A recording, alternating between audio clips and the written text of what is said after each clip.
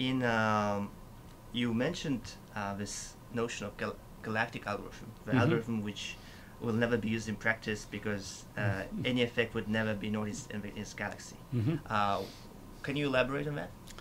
Uh, well, uh, uh, log log n is five, and log star n is a much lower number.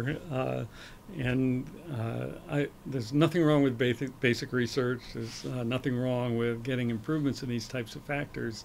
Uh, my problem is that uh, uh, people sometimes get those results, but in the opening paragraph or the closing paragraph, they'll say this has the potential to be important in practice, uh, Uh-huh. when there's actually no way No way. it would ever be noticed uh, in practice. And so you shouldn't be making statements about potential implica- implications when you know, uh, if you're not disconnected from reality, uh, that there's no way.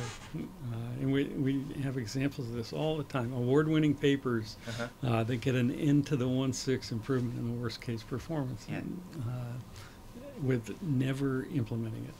And I guess you you make this point clear in the uh, 226 the algorithms course that O notation is useful for many things, but it's not useful to predict performance. It was actually developed by Poincaré as the basis for asymptotic series. Mhm. Uh, so we use it in later terms, Mhm. and it's supposed to indicate that we could get more terms if we wanted.